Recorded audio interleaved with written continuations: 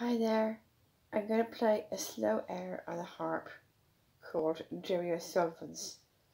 And it's one I'd never forget, one of my mum's favourites and it's one I learned from my harp teacher Junshi Murakami. He's one of the best Japanese harpists who plays traditional art music on the harp. And he's amazing and this is that I learned from him.